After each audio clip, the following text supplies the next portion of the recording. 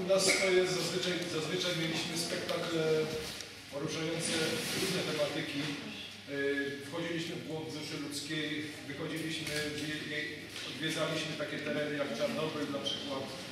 Yy, Pokazywaliśmy ogólnoglobalne problemy zag- zagłady świata. Pomyśleliśmy pewnego razu, zróbmy coś bliższego, coś na wyciągnięcie ręki. Wiadomo, wyciągnięcie ręki, ręki jest nasz najbliższy region, czyli Śląsk.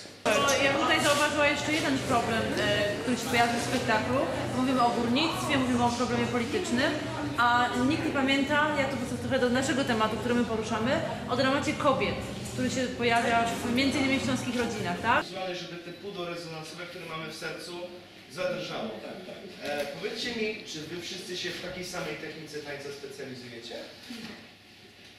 Jakiej? O proszę. Niesamowita rzecz. Co? E, Każdy z innej beczki, e, każdy uczył się sam wcześniej. E, no, ktoś tam się przewinął przez jakieś szkoły taneczne, ale kilka osób wiem, że na przykład uczyło się z filmików po prostu, gdzieś tam przez jakieś kółka taneczne w szkołach. No i tak w sumie połączyła się taka grupa. I akrobatyka, na przykład tutaj Kamil, e, Mateusz, tam Konrad. Przyszli z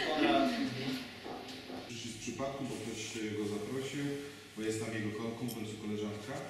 No i chyba trzeba do tego ludzi przyzwyczaić, bo to by było zbyt wygodne, zbyt, zbyt łatwe, żeby pewne historie tak sobie odpuszczać. A, a chyba teatr ma to ma zadanie, za zadanie nie tylko jeśli chodzi o scenę, ale tak jak ja pracuję z młodzieżą, żeby też próbować uczyć, uczyć jakiejś tam e, wrażliwości na świat, na co się wokół mnie dzieje, a przy okazji no, otwierać, wiesz, łamać pewne bariery i dawać siebie, no bo wiesz, no prawda jest taka, że gdyby nie było widzów, nie byłoby e, teatru i to działa w dwie strony, więc my musimy wszyscy jakoś kompatybilnie razem żyć.